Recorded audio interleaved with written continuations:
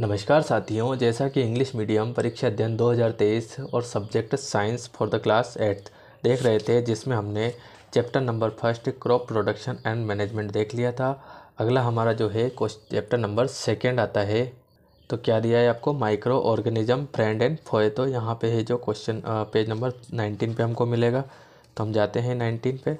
तो ये आ गए हम नाइनटीन पे। तो यहाँ पे आपको देखो, चैप्टर नंबर जो सेकेंड है micro organism friend and foe तो यहाँ पे जो है इसके मल्टीपल चॉइस क्वेश्चन आपको दिए गए हैं।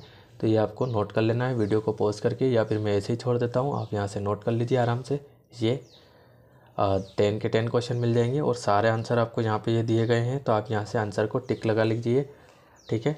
अब हम बात करते हैं तो very short answer type questions की तो यहाँ पे आपको जो है very type very shorter answer type question दिए गए हैं। टोटल कितने आपके क्वेश्चन टेन है? तो आप यहाँ से पहले एक एक करके नोट कर लीजिए, ठीक है? ये, इसके बाद ये और इसके बाद ये, ठीक है? और फिर यहाँ पे अगर हम इस पेज की बात करें तो ये और फिर ये और ये, ठीक है? ये शॉर्ट आंसर टाइप क्वेश्चन चल रहे हैं आपके, ठीक है? कौन से वाले? शॉर्ट आंसर टाइप क्वेश्चन से तो ये भी आपको कितने बताए हैं? सात। सात तो सात नहीं, आठ, नौ नौ, नाइन क्वेश्चन टोटल बताए गए आपको। यहाँ से देख लीजिए आप, ठीक? अब हम बात करते हैं लॉन्ग टाइप क्वेश्चंस की। तो लॉन्ग टाइप क्वेश्चन यहाँ से आप इसे नोट कर लीजिए वीडियो को पोस्ट कर दीजिए और आराम से नोट करते जाइए, ठीक है? इस पेज के क्वेश्चन हम देख लेते हैं यहाँ पे। तो ये भी दिए हैं आपको थर्ड थ्री नंबर का क्वेश्चन यहाँ पे मिल रहा है आपको। पूरा पूरा क्वेश्चन दे देता हूँ मैं। ये, ठीक है? ये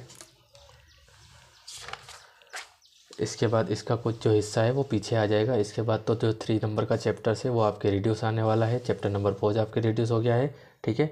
और चैप्टर नंबर फाइव जो है वो हम कल देखेंगे ठीक है? तो आप इसे अच्छे तरीके से आ, सारे क्वेश्चंस को आप नोट कर लीजिए और याद करने की कोशिश कीजिए। और अगर कोई क्वेश्चन ज़्यादा ही डिफ़िकल्ट लगता है तो आप मुझे उस कमेंट में वो क्वेश्चन लिख के सेंड कर दीजिए ताकि मैं उसका जो है ईजी लैंग्वेज में आंसर निकाल के आपके सामने रख सकूँ। तो आपकी जो है तैयारी अच्छे से अच्छे हो जाएगी ठीक है गाइस तो आप इसे नोट करते जाइए। ठीक है? मिलते हैं अगले वीडियो में, अगले चैप्टर के साथ। तब तक के लिए थैंक यू गाइस